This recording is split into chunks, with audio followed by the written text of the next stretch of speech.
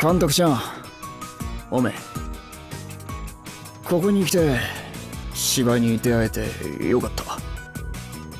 あ。誕生日おめでとう。普段は言わないけど監督さんのカレー結構好きだよ。お誕生日おめでとう監督。今夜は特別サービスしてあげるね。あんたに出会えてよかった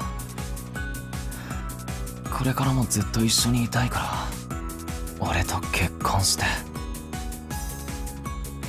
この劇団で俺は人生で初めて変われた。あんたには感謝しかねえよ。